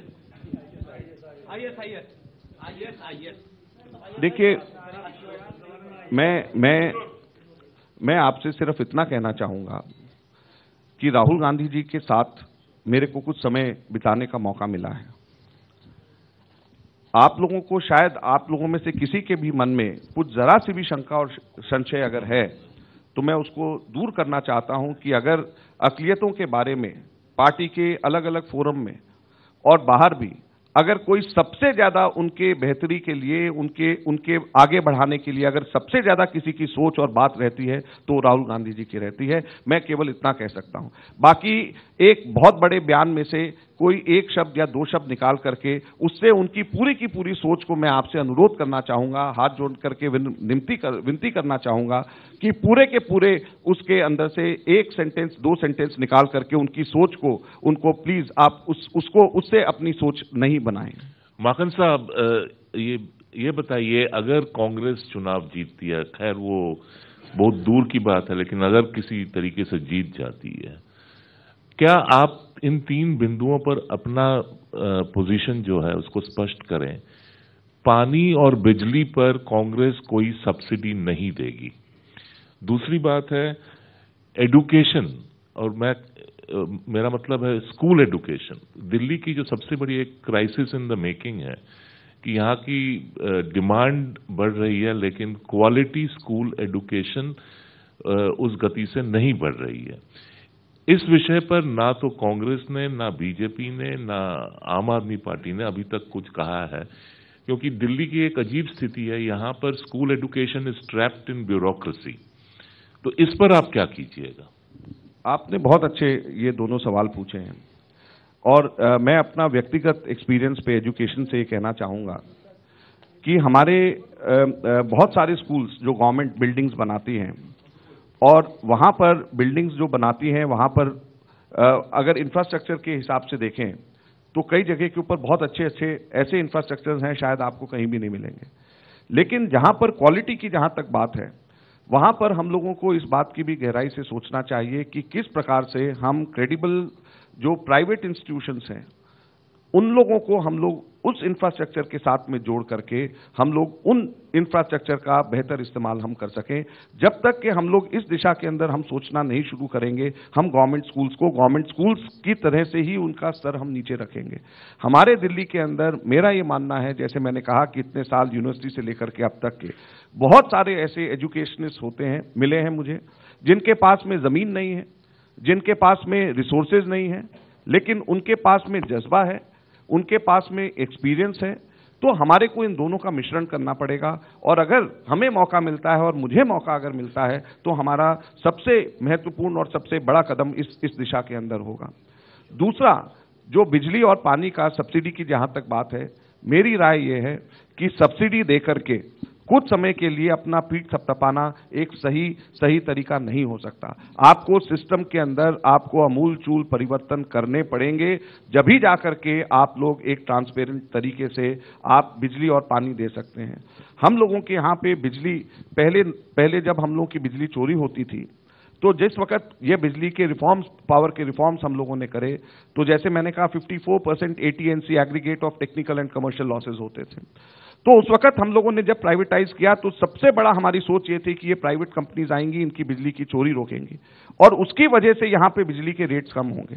तो एक चीज़ तो हो गई कि चौवन परसेंट से वो घट करके तेरह परसेंट हो गए। दस परसेंट टेक्निकल लॉसेज होते हैं जो किसी भी कीमत पे, मुंबई जैसी जगह पे भी आठ से दस परसेंट होते हैं। तो जब एक चीज़ हो गई तो दूसरी चीज़ क्यों नहीं हुई उसके साथ में कि बिजली के रेट यानी एंड यूज़र कंज्यूमर को फ़ायदा क्यों नहीं पहुँचा? उसको सब्सिडी के माध्यम से जितनी दिन, देर तक हम प्रोलॉन्ग करते जाएँगे, एक तरीके से हम लोग प्राइवेट कंपनीज़ को और हम मजबूर, मज़बूत कर रहे हैं और उनको हम एक तरीके से करप्ट और मैल प्रैक्टिस के लिए हम लोग उनको, उन प्राइवेट कंपनीज़ को एनकरेज कर रहे हैं। तो मैं नहीं समझता कि सब्सिडी कोई सही तरीका है, कोई अच्छा तरीका है, एक अच्छा ट्रांसपेरेंट और अच्छा अच्छा कार्य करने के लिए। लौटते हैं जहाँ से हमने बात शुरू की थी वही हमारा अगला सवाल है और वो है ये।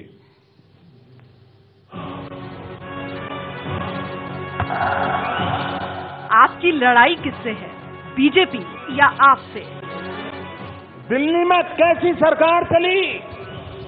चाहे राज्य की हो या केंद्र की हो 2002 से ढेर सारे मसले बिना निर्णय को फाइलों में बंद पड़े थे। गरीबों की समस्याओं से सटे हुए थे। लेकिन यहाँ पर सरकारों को समस्याओं का समाधान करने के लिए फुर्सत नहीं थी। ऑब्वियसली कांग्रेस तो टक्कर में ही नहीं है, सब लोग बता रहे हैं। और, कांग्रेस को एक तरह से वोट देने का मतलब अपना वोट खराब करना है। कांग्रेस अब वोट कटुआ पार्टी के तौर पे रह गई है। टक्कर सीधे आम आदमी पार्टी और बीजेपी में है। आप कहेंगे दोनों से लड़ाई है लेकिन ज़्यादा लड़ाई किससे? वोट तो आपका आम आदमी पार्टी ले गई। नहीं। देखिए मैं सिर्फ़ ये देख करके ईश्वर और प्रभु और अल्लाह से यही प्रार्थना दरख्वास्त करता हूँ कि इनको इसी गलत फहमी नहीं खुश फहमी के शिकार ये रहे। दस तारीख को इनको पता चल जाएगा। क्योंकि 2013 में हम लोग भी इसी खुशफहमी के शिकार थे। और 2013 के नतीजों ने हमें बहुत बड़ा झटका हमारे को दिया जब हम खुशफहमी के इसी प्रकार से शिकार थे। कोई आम आदमी पार्टी को दो, तीन, चार सीट देता था, ये अपना सर्वे निकाल निकाल करके लोगों को कन्विंस करने की इनको ज़रूरत पड़ती थी। मैं सिर्फ़ इतना कहना चाहता हूँ कि कांग्रेस की लड़ाई किससे है? हमारे जैसे मैंने कहा कि हमारी लड़ाई, हमारे विधायक लड़ रहे हैं, जो लगातार चुन चुन कर जनता के बीच में कार्य और जनता के बीच में रहे हैं। दस विधानसभा क्षेत्र में हमारे इस इस समय हमारे सिटिंग एमएलए हैं दिल्ली में। बाकी साठ ऑलमोस्ट इक्वली डिवाइडेड हैं। तो हमारे उन उन जगहों के ऊपर हमारा संघर्ष, हमारे पुराने विधायकों का उन उन जगहों के ऊपर है, जिन जगहों के ऊपर यहाँ पे पहले बीजेपी या आम आदमी पार्टी का विधायक रहा है। तो मैं समझता हूँ कि इस लड़ाई के अंदर हमारे पुराने पूर्व विधायक हमारे चुनाव जीतेंगे। जहाँ तक के ऊपर के लेवल की बात है जहाँ तक कि स्टेट को डायरेक्शन देने की बात है, वहाँ पर मैं भी बता रहा हूँ कि हम क्या कर सकते हैं, हमने क्या किया, हमारी आगे क्या सोच है। दूसरे और पार्टीज़ भी बता रही हैं कि वो क्या कर सकते हैं, उनकी क्या सोच है, जनता निर्णय करे। अजय माकन जी, मेरा नाम नितिन गोखले है। मैं एक पत्रकार हूँ। आप बार बार कह रहे हैं कि इंडिविजुअल नेता जो है आपके, वो मतदारों में जा रहे हैं मतदान मांगे, मत मांगेंगे लोगों से। क्या ये माना जाए कि कांग्रेस पार्टी का संगठन पूरी तरह से बिखर गया है दिल्ली में और वो मौजूद नहीं है?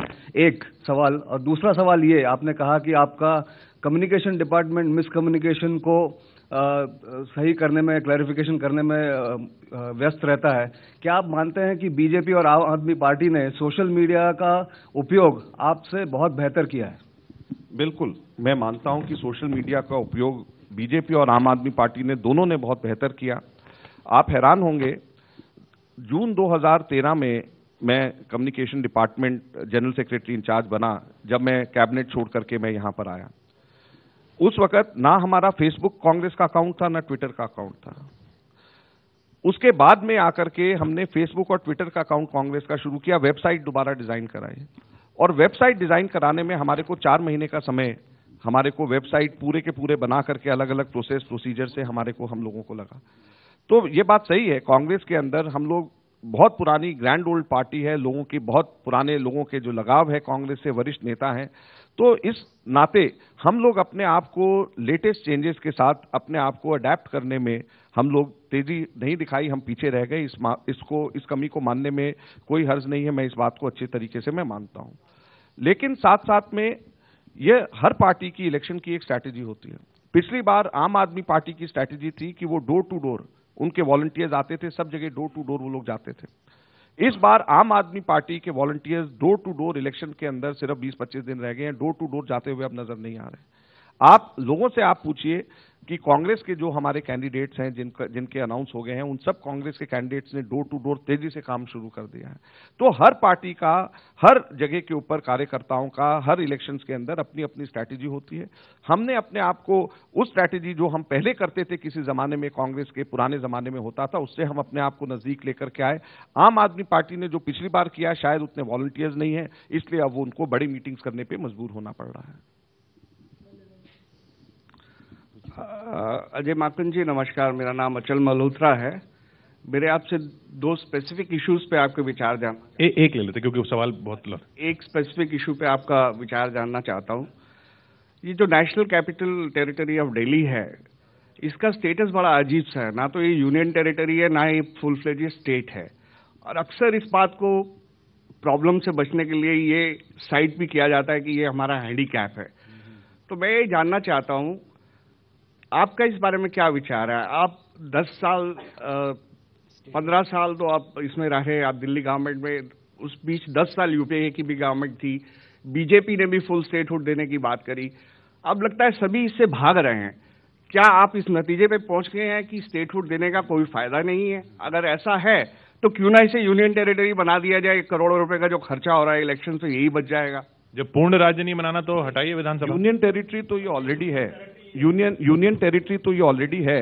कॉन्स्टिट्यूशन के आर्टिकल 239 तो फिर विधानसभा क्यों है? पहले मेट्रोपॉलिटन काउंसिल ठीक चल रही थी। एक मिनट एक मिनट। 239 ए आर्टिकल कॉन्स्टिट्यूशन का डाल करके इसके इसको असेंबली स्टेटस इसको दिया गया। लिमिटेड पावर्स के साथ में जिसमें तीन चीज़ें police law and public order तीन जो है जो स्टेट सब्जेक्ट्स होते हैं उनको आ, उनके अलावा बाकी सब के सब 239 ए में किया गया। दूसरा इसके अंदर एक जो बुनियादी फ़र्क है बाकियों में, कि in case of any dispute between the state government and the lieutenant governor the matter would go to the president of India and till such time the matter is resolve the lieutenant governor's opinion shall prevail यानी lieutenant governor और सब all powerful हो गया और lieutenant governor जो है इसमें administrator की भूमिका में आ गया और राष्ट्रपति इसका वो फाइनल डिसीज़न लेगा, यानी केंद्र सरकार इसके ऊपर, कोई भी डिस्प्यूट के ऊपर फाइनल डिसीज़न लेगी। ये बात आपने खुद इस बात को माना कि कांग्रेस की भी जब पावर में हम लोग रहे, उससे पहले एनडीए की भी छह साल पावर में रहे, वो लोग इसको नहीं कर पाए। कैबिनेट के अंदर मेरा ये मानना है कि कभी भी, जब भी फ्रैक्चर्ड मैंडेट रहेगा, दूसरी और पॉलिटिकल पार्टीज़ के ऊपर, जिन पॉलिटिकल पार्टीज़ का दिल्ली में कोई स्टे नहीं है, दिल्ली के अंदर जिनका कोई स्टेक नहीं है, जब तक कि ऐसी स्थिति रहेगी, जब तक कि यूनियन टेरिटरी से स्टेट कैपिटल बनना ये मुश्किल है। क्योंकि आप कैसे एक्सपेक्ट करेंगे कि अगर कोई पार्टी डीएमके के ऊपर निर्भर करती है तो डीएमके तमिलनाडु की ये अलाउ कर देगी कि दिल्ली के अंदर जो नेशनल कैपिटल है उसके अंदर तमिलनाडु का बिल्कुल कोई स्टेक नहीं रहेगा दिल्ली नेशनल कैपिटल रहेगी। लालू यादव नीतीश कुमार या इवन चंद्रबाबू नायडू या दूसरी और कोलिशन पार्टनर्स या ममता बनर्जी जिन लोगों का दिल्ली में कोई स्टेक नहीं है वो लोग इस चीज़ को आसानी से अलाउ नहीं करेंगे। दूसरा दोनों तरफ़ के मेरिट्स हैं। एक मेरिट यह है कि अगर मान लीजिए पुलिस नेशनल कैपिटल के अंदर अगर स्टेट गवर्नमेंट को दे दिया जाए तो जो 26 जनवरी से पहले केजरीवाल साहब ने पिछली बार धरना वहाँ पे रखा था तो उसको उठाने के लिए क्या भारत की मिलिट्री आएगी? स्टेट की पुलिस, अगर Kejriwal ji as chief minister कहेंगे कि मैं यहाँ से नहीं उठना चाहता तो दिल्ली पुलिस का झगड़ा क्या मिलिट्री के साथ में वहाँ पर होगा? क्या हम हम ऐसा ऐसा चाहेंगे? क्या अगर यहाँ पर एक ऐसा मुख्यमंत्री हो जो ओबामा अगर आ रहे हैं यहाँ पे और वो उनसे अगर वो एग्री नहीं करते उनके उनके आने से तो वो ट्रैफ़िक पुलिस अगर उनके पास में होगी और सिर्फ़ एक ट्रैफ़िक पुलिस को चौक पे खड़े होकर के उनको राजघाट की जगह वीरभूमि सिर्फ़ भेजना होगा तो क्या वो वीरभूमि से राजघाट पैदल आएँगे? ये ये सब एक प्रैक्टिकल सोल्यूशन प्रैक्टिकल एक एक एक चीज़ें हैं जिसकी वजह से ये सोच समझ करके पुराने निर्णय लिए गए।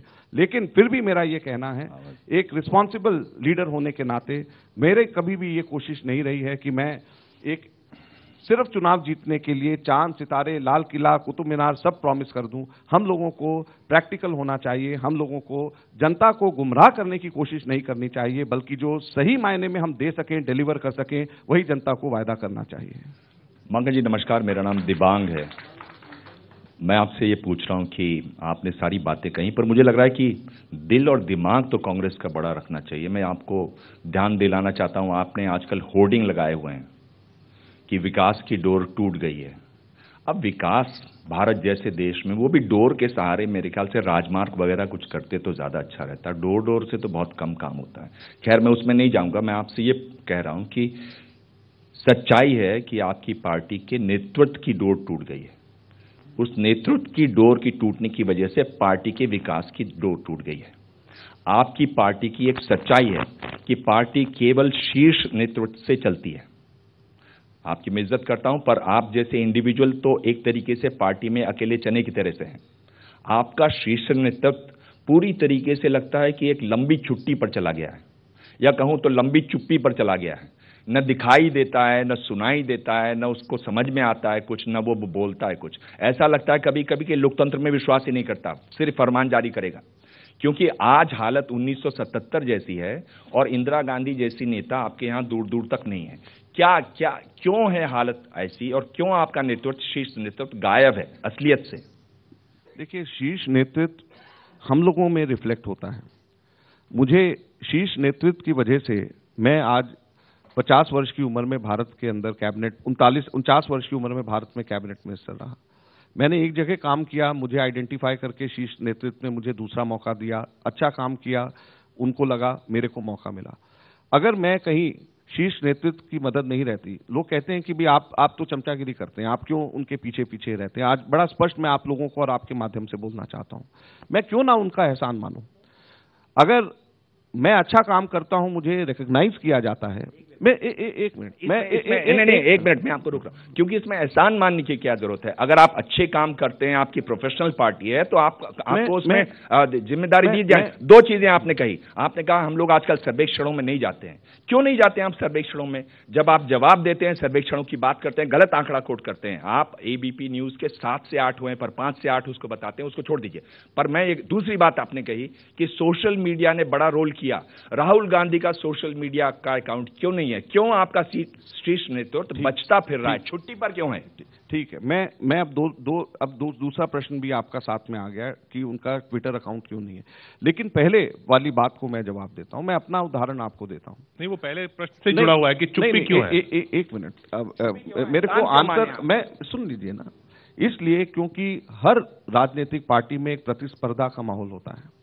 हर राजनीतिक पार्टी में लोगों के अपने एम्बिशंस होते हैं लीडर्स के एम्बिशंस होते हैं। लगातार एक कन्फ्लिक्ट का माहौल होता है। कोई ऐसा आसान तरीका नहीं होता जिसमें हर व्यक्ति अपनी अपनी बात आगे कहता है, हर व्यक्ति परफॉर्म करना चाहता है, लोगों के लिए काम करना चाहता है। अगर किसी नेतृत्व में ने हमें मौका दिया, मैं कहता हूँ, मैं ऑनेस्ट हूँ। अगर मैं ऑनेस्ट इसलिए हूँ क्योंकि मुझे, मेरे नेतृत्व ने मौका दिया तो मैं क्यों नहीं इस बात को मैं मानूं?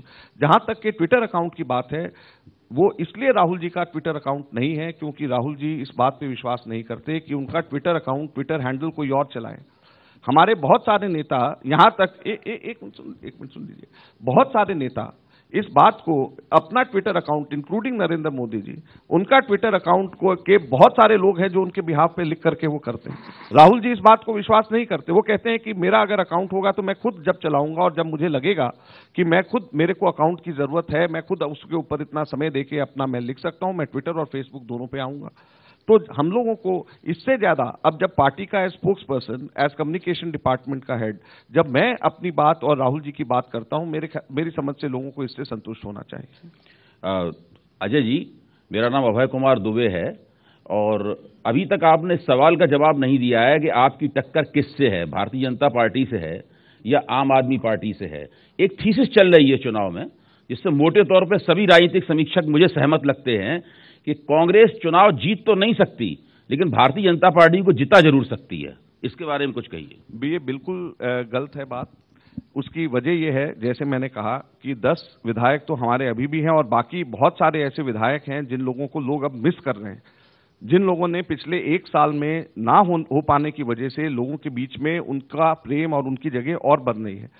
और चुनाव में हमारा मुकाबला किससे है? जैसे मैंने कहा कि यह त्रिकोणीय मुकाबला है, लेकिन मुख्य मुकाबला हमारा बीजेपी से है, क्योंकि दिल्ली के अंदर ट्रेडिशनली कांग्रेस और बीजेपी पार्टी दोनों रही हैं।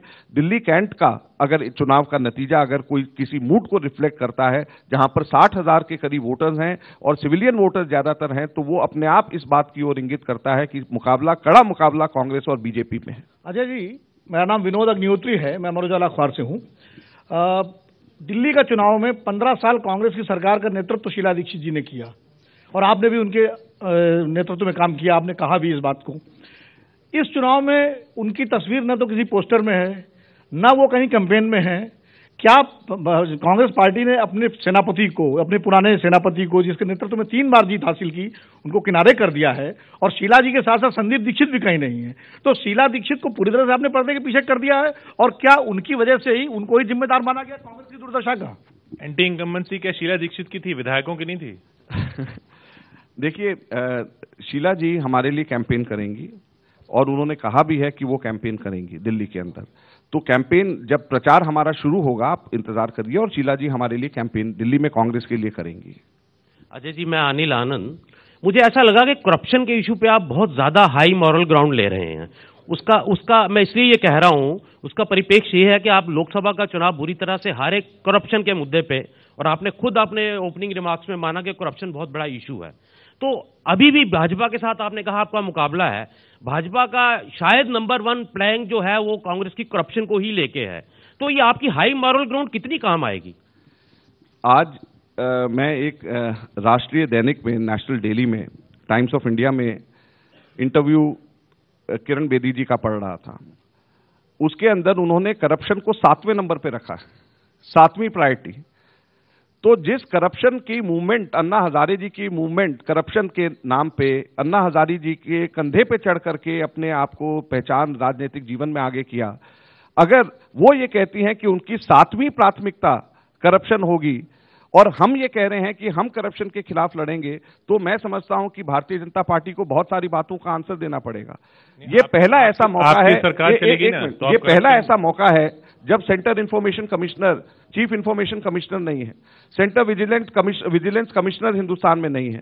लोकपाल का बिल पास हो गया एनैक्ट हुआ हुआ है अभी तक के, लोकपाल नहीं बना। जब लोकपाल सिलेक्शन कमेटी के लिए जिसको डाला गया था, उस वक्त सुषमा स्वराज जी ने उसको अपोज किया था। अब गवर्नमेंट कहती है कि हम उसको मान लेते हैं, लिहाजा अभी तक के लोकपाल की अपॉइंटमेंट नहीं हुई। जब तक तीनों कॉन्स्टिट्यूशनल अथॉरिटीज जो वॉच डॉग हैं करप्शन के लिए, उनके चेयरमैन अभी तक के अपॉइंट नहीं हुए हैं। इनके खुद की दिल्ली की मुख्यमंत्री की फेस ये कहती है कि सातवीं प्रायोरिटी करप्शन की है तो इसका मतलब भारतीय जनता पार्टी जब ऑपोजिशन में थी जब ही करप्शन की बात करती थी वो सारी की सारी बातें भूल गए। माकन जी मेरा नाम एस के शर्मा है और आप मेरे से भली भांति परिचित हैं। दिल्ली विधानसभा के सभागार में मुझे आपके साथ बहुत लंबे अरसे तक बैठ सवाल सवाल। सभागार जब पहली बार चुन के आए थे मुझे वो समय भी याद है। आप जब विपक्ष के एमएलए सवाल सवाल क्या आपका? क्योंकि वक्त कम है। मेरा सवाल ये है कि आपको बेस्ट लेजिस्लेटर अवार्ड से नवाजा गया था। दिल्ली कांग्रेस में आपके दोनों लेफ्टिनेंट अरविंदर सिंह लवली और मुकेश शर्मा को भी नवाजा गया था। अब ऐसे लोग, हमारे इधर एक कहावत है, सकल खुदाई एक तरफ़, जोरू का भाई एक तरफ़, ये तीनों आप एमएलए एक तरफ़ मिलाएँ तो पूरी विधानसभा एक तरफ़ बैठती है। तो ये तीनों अपनी मेरिट पर जीत कर आ सके, पार्टी लेवल जो भी हो, उसके लिए आपके पास क्या रणनीति है? देखिए, जो लोग खुद अपने आप, अपने बल पे जीत करके आ सकते हैं, उनके लिए तो रणनीति की ज़रूरत ही नहीं होनी चाहिए। रणनीति की ज़रूरत तो उनके लिए होनी चाहिए, जो लोग खुद अपने आप अपने बलबूते पे नहीं जीत पे आ सके। आज अगर कोई ये पूछे, मुकेश शर्मा जीत सकते हैं या पवन शर्मा जीत सकते हैं, उनके विधायक जो बीजेपी के हैं तो वहाँ पे आपको ज़्यादातर लोग मुकेश शर्मा की बात करेंगे। इसलिए मैंने कहा कि पहले से फालतू सीट्स, बेशक दिमाग जी ने मुझे ठीक करा सही करा, मैं अगर आंकड़े में गलत हुआ, मैं माफ़ी चाहता हूँ। तो इंप्रूवमेंट अगर हुई है तो वो हमारी टिकट डिस्ट्रीब्यूशन के बाद में हुई है। और फर्दर टिकट डिस्ट्रीब्यूशन के बाद और इंप्रूवमेंट होगी। अजय माकन जी, आपने अभी तक ये नहीं बात की कि आपका जो आगे जाके प्लान है दिल्ली के लिए, उसमें आप दिल्ली किस तरह का सिटी मानते हैं? सर्विस ओरिएंटेड सिटी की इंडस्ट्री ओरिएंटेड सिटी कैसा होगा और क्या उम्मीद है जो यंगस्टर्स दिल्ली में आते हैं, उनके लिए आपका क्या प्लान है? आपने कुछ इस पर नहीं बात की। आपने बहुत अच्छा क्वेश्चन पूछा है और इसका आंसर मेरे ख्याल से पूरा एक सेशन ले लेगा क्योंकि ये सबसे महत्वपूर्ण आंसर है। दिल्ली हमेशा से एक ट्रेडिंग का एक सेंटर रहा है, जहाँ पे से व्यापार आसपास का होता रहा है। हमारा ये मानना है कि दिल्ली हमेशा से कर्मचारी और व्यापारी का शहर रहा है। यहाँ पे बड़ी इंडस्ट्रीज़ और फार्मर्स एग्रीकल्चर दोनों नहीं है, यहाँ पे कर्मचारी और व्यापारी दोनों के दोनों रहते हैं।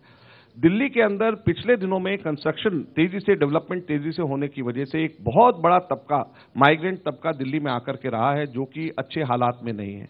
अगर दिल्ली के अंदर हम दिल्ली को वर्ल्ड क्लास सिटी बनाना चाहते हैं तो दिल्ली वर्ल्ड क्लास सिटी सिर्फ़ बड़े बड़े फ्लाईओवर्स और मेट्रो और बसेस से नहीं बन सकती है। हम लोगों को इसके पीछे जाना पड़ेगा। अनऑथराइज कॉलोनीज क्यों बनी? हमारे दिल्ली के अंदर आज भी 12 परसेंट मकान खाली हैं सेंसस की फिगर्स के हिसाब से। और दिल्ली के अंदर 12 परसेंट मकान खाली हैं और दिल्ली के अंदर अभी भी लाखों लोग झुग्गियों के अंदर रहते हैं। क्यों? इसका मतलब यह है कि दिल्ली के अंदर लैंड अलॉटमेंट इक्विटेबल नहीं रही है। दिल्ली में गरीब लोगों का लैंड के ऊपर, गरीब लोगों की हकदारी उतनी नहीं रही है जितनी कि अमीर लोगों को फालतू दिया गया। 12 परसेंट मकान सेंसस सर्वे के अंदर खाली पाए जाना, लोगों ने इन्वेस्टमेंट के लिए रखा हुआ और उससे आधे लोग दिल्ली के अंदर, झुग्गियों के अंदर और अनऑथराइज अपना कोट अनकोट कहने के कॉलोनीज के अंदर रहना, ये मेरे ख्याल से अपने आप में इनइक्विटेबल डिस्ट्रीब्यूशन है। जब तक जहाँ पे स्लम्स हैं, वहीं के वहीं इन सीटू उनको हमारे एफएआर का एडवांटेज दे करके in situ high high rise हम लोग जब तक के नहीं बनाएँगे, जब तक के हम लोग दिल्ली का डेवलपमेंट नहीं कर सकते। बहुत लोग हाई राइज के खिलाफ हैं। मेरा ये मानना है कि सिटी कॉम्पैक्ट हो हाई राइज हो तो एनर्जी एफिशिएंट होती है। लोगों को अपने घर के नज़दीक अगर काम पे जाना हो तो उनकी ट्रांसपोर्टेशन की कॉस्ट उनकी कम लगती है। अगर झुग्गी झोंपड़ी वालों को हम लोग अगर एक जगह से दूर 50 किलोमीटर नरेला, बवाना, दिल्ली के फ्रिंजेस में छोड़ दें तो वो कोई झुग्गी झोंपड़ी वालों का रिहेबिलिटेशन नहीं होता, बल्कि डिस्प्लेसमेंट होता है, जिससे लॉ एंड ऑर्डर प्रॉब्लम जिससे आगे आने वाले समय के अंदर डिस्पैरिटी लोगों की सोच में प्रॉब्लम और एम्प्लॉयमेंट की प्रॉब्लम होती है। तो अगर आपने स्लम्स को अगर रिहेबिलिटेट करना है तो उसी जगह के ऊपर जब तक आप उनको वापस वहीं पर नहीं बसाएँगे, उनको एम्प्लॉयमेंट अपॉर्चुनिटीज़ वहीं के वहीं जहाँ काम कर रहे हैं नहीं देंगे, जब तक कि वो लोग वो लोग रिसेटल नहीं हो पाएँगे। तो दिल्ली की इक्विटेबल डिस्ट्रीब्यूशन के लिए, दिल्ली में जो लोग आए हुए हैं, गरीब लोग, उनके लिए ये सारे काम करने की ज़रूरत है। अजय जी, मेरा नाम वर्तिका नंदा है। आपने लॉ एंड ऑर्डर की बात कई बार की। पंद्रह साल जब आपकी सरकार रही, दिल में बार बार एक कसक सी उठती रही कि काश दिल्ली पुलिस हमारे पास होती। क्या वो कसक इस बार चुनाव के बाद भी जारी रहेगी? और उस कसक के किसी नतीजे तक पहुँचने की कोई बात हो सकती है? और दूसरा सवाल इसी से जुड़ा हुआ दिल्ली पुलिस में इस समय जो करीब नब्बे हज़ार की फौज है, उसमें से करीब पैंतालीस हज़ार की फौज वीआईपी सिक्योरिटी में लगी रहती है। अगर आपके पास, अगर आती है दिल्ली पुलिस और अगर आपको मिल जाती है सत्ता, जिसकी उम्मीद वाकई कम लग रही है तो क्या आप ऐसा करेंगे जिससे लॉ एंड ऑर्डर को लेकर कोई मैजिकल स्टिक आपके पास है और कोई मैजिकल फॉर्मूला है आपके पास? देखिए, आपने बिल्कुल सही पूछा कि पुलिस जो है, हमारे दिल्ली में पुलिस मुख्यतः तीन हिस्सों में है। ट्रैफ़िक पुलिस है, लोकल जो है क्राइम की प्रॉब्लम है, और तीसरा हमारा सिक्योरिटी का है। इसमें मैं ये मानता हूँ, मेरा ये मानना है कि local law and order problem के, का काम हमारे दिल्ली सरकार के पास में आना चाहिए, और लोकल लॉ एंड ऑर्डर की पुलिस सेपरेट होनी चाहिए। बहुत बार हम लोगों ने भी ये देखते हैं, और ये कंपार्टमेंटलाइज होना चाहिए। मेरे साथ में लगा हुआ पीएसओ मुझे अपने ट्रांसफ़र हो जाने के बाद में, दस दिन के बाद में ट्रैफ़िक चलाता हुआ नज़र आ जाएगा। तीन हफ, तीन साल के बाद में वो थाने में ट्रांसफ़र होगा तो रेडी पटरी वालों से पैसे उगराई करते हुए नज़र आ जाएगा। जबकि सिक्योरिटी, ट्रैफ़िक और लॉ एंड ऑर्डर तीनों के तीनों इन्वेस्टिगेशन लॉ एंड ऑर्डर तीनों के तीनों अपने आप में स्पेशलाइज सब्जेक्ट्स हैं। और इसके अंदर जो है लॉ एंड ऑर्डर खास तौर पे और क्राइम खास तौर के ऊपर दिल्ली सरकार के अंदर होना चाहिए। तो हमारे अगर लोग सिर्फ़ ये मांग करते रहें, पुलिस हमें दीजिए, पुलिस हमें दीजिए, पुलिस हमें दीजिए तो वो सही सही सही तरीका नहीं है। हमारे को इसमें सेगमेंटलाइज करके सेगमेंटाइज करके हमारे को इसके अंदर से crime local local law and order की प्रॉब्लम दिल्ली सरकार के पास में होनी चाहिए ताकि बेहतर जवाबदेही उनसे हम इंश्योर कर सके उनसे हम ले सकें। ये ये मेरा सोच है। अंत में मागन साहब एक सवाल आपने खुल के सब चीज़ों के जवाब दिए साहब गोई से जवाब दिए। तो सवाल ये कि क्या अगर आप जीतते हैं आपकी पार्टी जीतती है तो आप ही मुख्यमंत्री होंगे? ये मत कहिएगा कि लेजिस्लेटर तय करेंगे। अगर ये नहीं कहूँ तो फिर क्या कहूँ? ये ये देखिए मैं कांग्रेस का स्पोक्स पर्सन हूँ और मैं लाइन जो खींची जाती है मैं उस पर चलता हूँ। लाइन हमारी ऑफिशियल लाइन ये रही है। ये इस ऑफिशियल लाइन का नुकसान नहीं होता। देखिए दूसरी पार्टियाँ खुल के कहती हैं ये प्रधानमंत्री होंगे ये मुख्यमंत्री होंगे उनको जनता चुन लेती है। आप एक लाइन पकड़ के बैठे देखिए अगर मान लीजिए कम्युनिकेशन डिपार्टमेंट का हेड ही अगर कुछ बात करे तो ये कौन कहेगा कि ये उनके निजी विचार है? तो इसलिए इसलिए मैं मैं कुछ ऐसा नहीं कहना कहना चाहता कि जिसमें कम्युनिकेशन डिपार्टमेंट का हेड कोई आरोप लगाए कि यही मिसकम्युनिकेट कर रहे हैं। तो इसलिए जो पार्टी की लाइन अभी तक है और आगे भी रहेगी और इस चुनाव में भी रहेगी उसका उसके उसके पॉजिटिव और नेगेटिव जो भी हो और इसका बेसिस भी है कि लोकतांत्रिक जो प्रणाली है जिसके अंदर हमारे संविधान में भी है कि हमारे विधायक जो हैं वो अपने मुख्यमंत्री चुने चाहे इसका नुकसान होता रहे। पॉलिटिकल नुकसान और फ़ायदा अलग है हमारे पार्टी की परिपाटी अलग है और संविधान की पोजीशन अलग है। मैं समझता हूँ संविधान के अंदर जब लोकसभा के एमपीज प्रधानमंत्री और विधानसभा के विधायक, मुख्यमंत्री अपना चुनते हैं तो और कांग्रेस उसको फॉलो करती है। और यही हमारी पार्टी की अधिकृत लाइन है। और मैं पा, पार्टी का मुख्य प्रवक्ता होने के नाते पार्टी की लाइन मैं बोल सकता हूँ। मैं लाइन से इधर उधर नहीं जा सकता। तो आ, मैं सिर्फ़ यही अनुरोध करूँगा अच्छा, कि इस आप बात को अच्छा चलिए अंत अंत अंत में। सीटें कितनी आ रही हाँ? जी। सीटें कितनी आएँगी? सीटें हम लोगों की मेजोरिटी आएगी। दिल्ली के अंदर हम अप, हम खुद अपनी सरकार बनाएँगे। एक साल पहले तक कांग्रेस की सातों लोकसभा की सीट थी। डेढ़ साल पहले तक के दिल्ली के अंदर पंद्रह साल से लगातार हमारी सरकार चल रही थी। हमारे सक्षम लोग, विधायक अभी भी सब जगह के ऊपर हैं।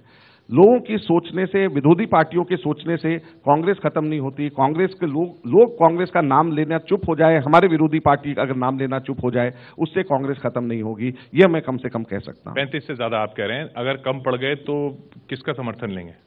बिल्कुल कम नहीं पड़ेंगे। हम अपने आप सरकार अपने बलबूते पे बनाएँगे। अभी तो अच्छा, शुरुआत हुई है आगे आने वाले दो नहीं बन सकी तो आम आदमी पार्टी की तरफ़ देखेंगे भी नहीं। बिल्कुल नहीं देखेंगे कहीं नहीं देखेंगे। रिकॉर्ड कर लीजिएगा हम हम बीजेपी की तरह नहीं है कि किसी को हफ़्ता वसूली पार्टी कहे उससे उसका समर्थन उससे ले लें किसी को नेचुरली करप्ट पार्टी कहे और उससे समर्थन ले लें हम बीजेपी की तरह नहीं है।